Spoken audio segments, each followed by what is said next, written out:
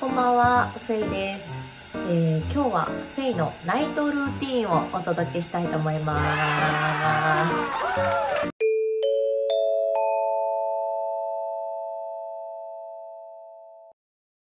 今日はバイトから帰ってきて、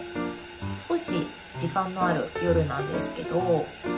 実は月曜日で、えー私は毎週月曜日はいつもより丁寧に自分のケアをする日というように決めてまして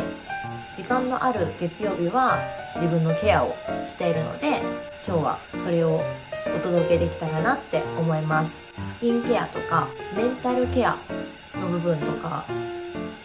あとは夜の過ごし方を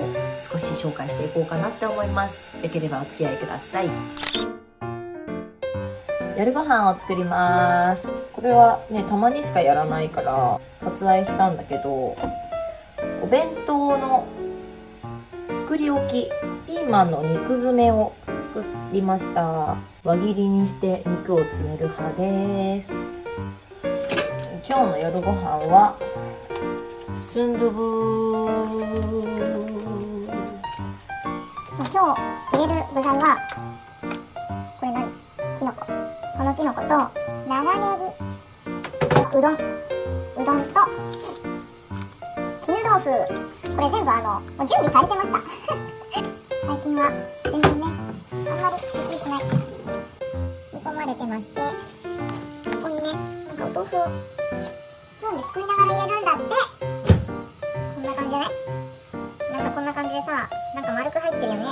ちなみに私はね辛いのは苦手なんですけどこれはなんか辛さ中辛？食べれるかしら？水をよく切った豆腐をスプーンですくってお好みで卵以外の具材も鍋に入れて中火で5分煮込みます。からこのきのこも多分このタイミングで入れる。きのこのこのこ元気のこ。これ一人で食べれるのか？できました。いただきます。わ辛いあ辛い。ちょっとお水お水。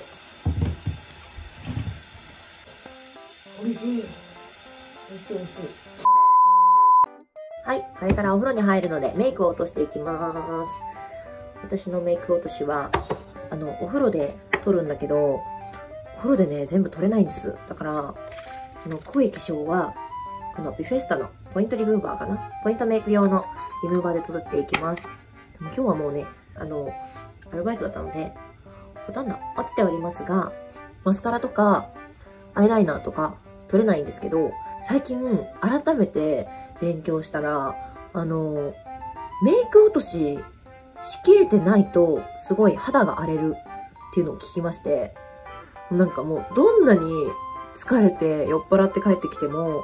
絶対にメイクは落とせっていうのを見て、ああ、そうなんだ。聞いたことはあるけど、そのメイク落としさえちゃんとすれば、その改善されるらしいの。なんか前はね、あの、お風呂でメイク落としして、全然取れないっていうことがたくさんあったんだけど、そのまま寝てたの。これ辺パンダになったまま寝てたんだけど、ちゃんとしないと早く老けるし、シミとかシワとかもできやすくなるから、っていうのを見てからは、しっかりとメイクを落とすようになりました。まず最近の悩みを話しますと、見て、ここにほら、ニキビがめっちゃできるの。でね、顎にね、いっぱいできるようになったの。もうね、原因がわかってるの。ラーメンを食べたりとか、お酒を飲んだ翌日とか、その食べ物に気を使わなかった翌日、絶対1個何かできるわけ。しかも、昔は1個ニキビができても、全然すぐ消えたし、後にも残んなかったのに、最近はすぐ消えないし、後にも残る。あとね、ここにはこの前できてて、これもね、なんだっけな、ラーメンなんだよね、多分これも。なんか1個ラーメンでできちゃって、もう遊んだ翌日絶対何かできるから、悩んでます。あとさ、なんだろうね。何なのかわからないけど、やっぱり、けたなって思うのよね。まだ24歳なんだけど、でも、その22歳とか、大学生の頃とは全然違うなって感じておりまして、焦って頑張ってスキンケアを勉強中です。もしアドバイスがあれば教えてください。はい、お風呂から上がりました。お風呂から上がったらですね、これ、パックしてる間に、いつもボディクリームを塗るんだけど、これ、私あんまり見たことなかったんだけど、ベイビーボディミルキーローションってやつを使ってます。ヤギのミルクの成分が入ってて、多分私このヤギのミルクの匂いっていうのがすごい好きみたい。じゃあバックしてる間に私のお風呂で何をやってるのかルーティーンというか、お風呂で使ってるものの紹介ですね。月曜日と木曜日にやるやつは、この、ピーリングジェル。これ結構有名ですよね。私、あの、中学生の時に読んでた雑誌セブンティーンかなんかでこれ紹介されてて、あの時めっちゃ気になったけど、あの、中学、中高生には必要ないですね、あんまりこれね。あの、肌の老廃物を絡め取って、これを使うと、あの、小鼻のプツプツとか、あとは、なんか肌がスベスベになるとか、なったりとか、ワントーン上がったりとかするので、あの、この年齢になってこれを使って実感しました。肌が綺麗な人が使ってもあんまり実感しないと思います。これもまた週に1回か2回しか使わないけど、オーベイビー。ボディスクラブと同じだと私は思って使ってます。多分あの赤すりとかをする効果とちょっと似てるんだと思う。これもこれと似てて、その老廃物を取るっていうか、整えるというか、なんだろう、まあ、詳しいことはわからないけども、これを塗りたくれば肌がスベスベになって、もうスベスベになるから、大事な日の前日は塗った方がいいよ、女の子は。っていう感じ。で、シャルドネの香りですごくいい感じ。あと、これもね、たまにしか使わないんだけど、ロゼットの洗顔パスタってやつで、これはあの、YouTuber の方が紹介してて、肌が綺麗な YouTuber の方が紹介してて、気になって買ったんだけど、私すごい乾燥しやすいから、私はね、これね、すごい突っ張っちゃってね、あんまりダメだったので、人によると思う。肌が強い人はすごい向いてるんだと思う。あと、これ、昨日クリスマスだったので、プレゼントでいただいたんですけど、マークスウェブのクレンジングバーム。めっちゃいい匂い。1回しか使ってないまだ。めっちゃいい匂い。肌を保湿しながら、あの、柔らかい刺激で取ってくれるみたいなので、これからが楽しみっていう感じ。でもすごい気持ちよかった。使ってみて。あとは、湯船に使うときは、あの、バスソルトを入れるんですけど、今使ってるのは、この、汗かきエステですね。何でもいい。何でもいいんだけどね、私は。ぶっちゃけ。匂いさえダメじゃなければ何でもいい。なんかバスソルトがいいって言われたんだけど、あの、もちろんね、あの、体のその汗をかくとか、そういう部分でバスソルトがいいっていうのもあると思うんだけど、あの、私、目に見えない世界のことってすごく信じてしまっていて、なんかそういうのに詳しい人が、あの、バスソルトを入れるだけで、あの、体の浄化もできるよって言ってくれて、あの、本当に目に見えない世界だからわからないんだけど、浄化できるものは全部浄化しとこうかな、みたいな。もしそれで少しでも何か物事が改善するのであれば、あの、やりたいということで、バスソルトを使っております。で、あとね、もうね、これは、7、8年ずっと使ってるんだけど、ビビオレの洗顔ジェル。もうこれは超絶おすすめ。もう毛穴に悩んでる人はみんな使った方がいいと思う。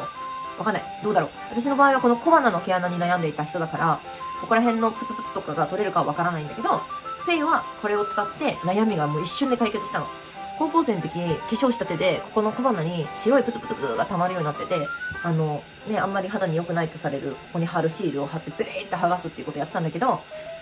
これが発売されて、なんか気になって使ってみたの。そしたら、1日2日ぐらいかな。で、その、この小鼻のプツプツが、ほっとろってなくなっちゃって、本当になくなったの。後で見せるね。本当に。で、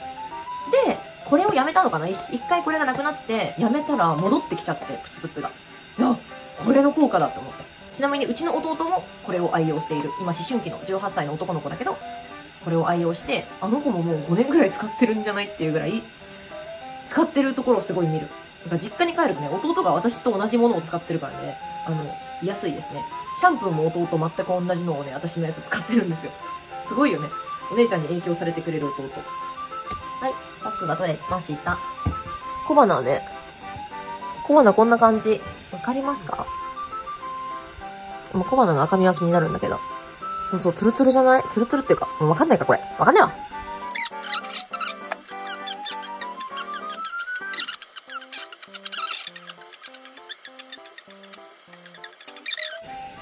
終わって、結構ツルツルだよね。これ本当に保湿力ある。で、なんか、私がね、調べた情報によると、このツルツルで満足するんじゃなくて、最後に乳液で締めなきゃいけないんだよね。最後に乳液で蓋をしないと、このせっかく保湿したやつがなんか、蒸発してっちゃうんだって。とにかく今はニキビ跡がすごい気になるから、このメラノ CC を、1、2、3、4、5、6、7滴ぐらい出して、顔に広げると。最近はこの、うん、ね、もう本当に、うん、わかんない。最近はこの豆乳イソフラボンの乳液使ってます。なんか、結構何でもいいって思っちゃって、これで使ってるけど、もうなんか、もうね、違いとかわからないです。何がいいのかわかりません、私は。豆乳イソフラボンなんかすごい良さそうだから。肌に塗ってます。ドライヤーの前はヘアオイルを塗ります。これはスティーブン・ノルの、スティーブン・ノルのヘアオイル。多分一番しっとりするやつ。これも大学1年生ぐらいから使ってて、ヘアオイルだけじゃなくて、シャンプーとリンスとヘアパックもこれを使ってます。ちなみにうちの弟もこれを使ってるし、うちのお母さんもこれを使い始めたみたいです。家族ってね、みんな髪質にいるから。で、いいよって言ったら弟が、弟も使ってくれてるので、実家帰っても自分のシャンプー持ってかなくていいから、便利ですね、すごく。家族が使うというのは。よし。私の髪の悩みが結構消えたんですよ、これ使ってから。出会いは、雑誌の付録？なんか、雑誌に試供品がついてて、それをね、一晩使ったら翌日、髪の毛の感じが全然違くて、私ってもともと、ゴワゴワの太くて、くせ毛でうねり髪で、髪の毛ロングにしても絶対に下ろせない。なんか、なんだろう。みんな、綺麗な人ってこうやってまっすぐ行くけど、私の場合はこう生えてきちゃうから、絶対に髪の毛を伸ばすってなっても段を入れないといけなかったのね。ショートも無縁だと思ってたんだけど、くせ毛で広がりやすいから、ショートにすると、その重みがなくなってブンってなって、こうやってちょっと上に上がるんだよね。なんか、かぼちゃ頭みたいな感じになるから、ショートヘアダメだと思ってたんだけど、これ使ってからね、あの、本当にそういうことはもうななくなって、普通にショートにしてても少し重みのある髪の毛になるんですね。やっぱしっとりしてくれて。で、しかも美容師さんとかにも、フェイちゃんどうした？って言われるぐらい癖毛が減って、多分これが全員に合うかわからないんだけど、私にはすごい合ったよ。だから旅行行く時とかも絶対シャンプーこれじゃないともう終わる。終わるの。温泉のシャンプーとか使ったら終わるから、私はもうこれの、これのシャンプーね。これのシャンプーを絶対持って行ってます。で、海とね、薬局に、あの、100円で1回分売ってるので。で、今ニキビがここにあるので、鹿のニキビパッチを貼っていきたいと思います。ニキビパッチをね、貼ると、心なしかニキビの治りが早くなるんです。で、あと、あの、ニキビ跡も軽減してくれると私は信じているので、貼ります。スキンケアも終わりまして、えー、お皿洗いとかも終わりまして、あとは、歯磨きして寝るだけですよっていう時間になったんですけど、これ昨日ね、もらったキャンドル、つけたか。キャンドルめっちゃいい匂い。これクレンジングと同じメーカーで同じ香り？なんだけど、めっちゃいい匂い。大体私夜寝る前あったかいの飲んでおります。これ誕生日にもらったハーブティ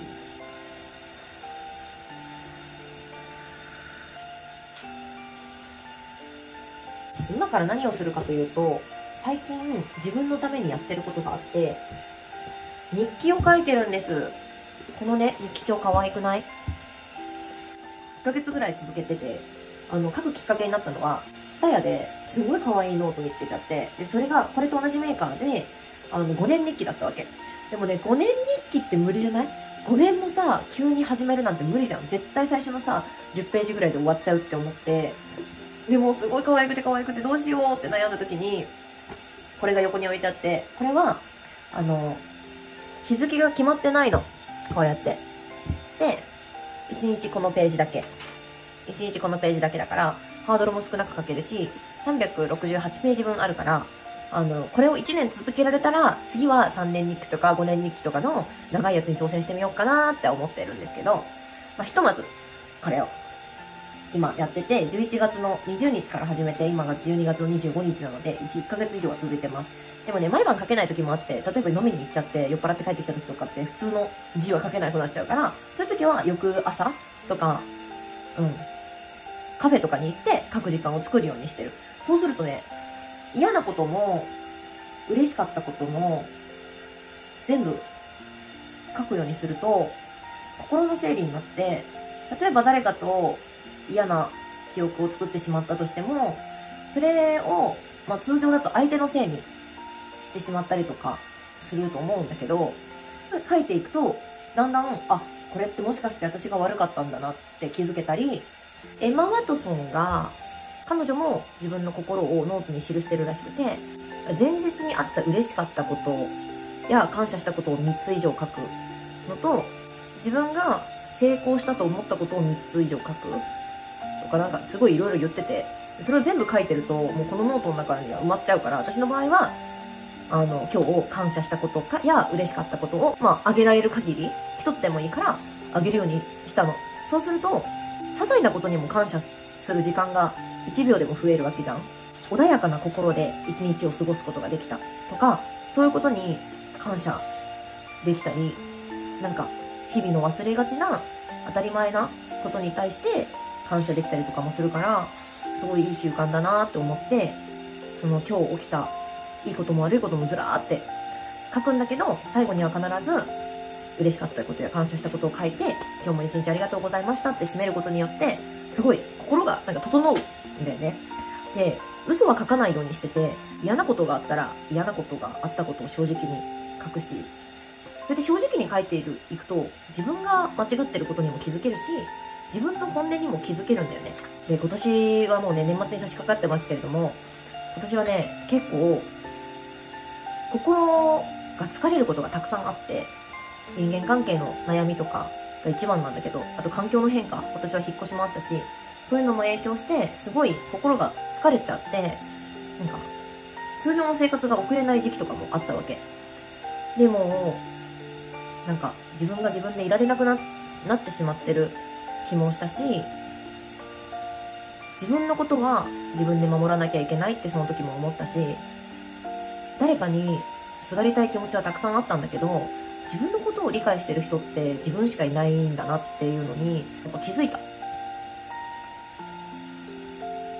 あと、こ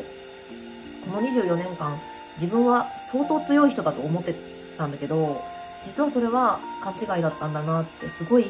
弱い、自分の弱いところにも気づいたし、自分って本当は弱い人間なんだって思って、それをマイナスな意味ではなく、自分の弱い部分を認めてあげて、それを愛してあげて、自分なりの対処をして、自分の心は自分でケアをして、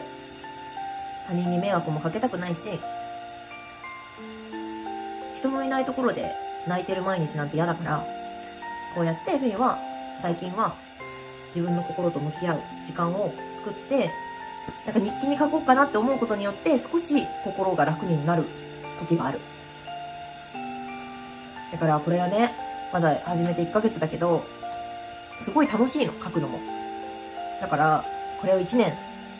続けられたらいいなっていうのが、まあ、2024年の目標でもあるね。この日記のテーマが、物語のように日々を綴るっていうテーマで発売されてたの。すごい素敵じゃない？しかもさ、中はさ、こうやってさ、なんかちょっとジブリみたいじゃん。自分の今日の一日の物語を書くっていうのがすごい楽しいから、やってみてます。日記ね、続かない人もいると思うけど、本当に書くってめちゃめちゃいい作業なので、おすすめです。はい。私のナイトルーティンの中に全く音楽が組み込まれていなくて、どういうことなのかと、あの、自分でびっくりしておりますけれども。まあ、普通の日常を送っております。ではね、これから今日の日記を書いて、明日に備えて、えー眠ろうと思います。えー今年もありがとうございました。来年もね、いい年になるように自分と向き合って、自分を愛して生活できればなって思っております。皆さんもぜひ自分のことを一番愛してあげられる時間を作ってみてください。ではでは。おやすみなさい。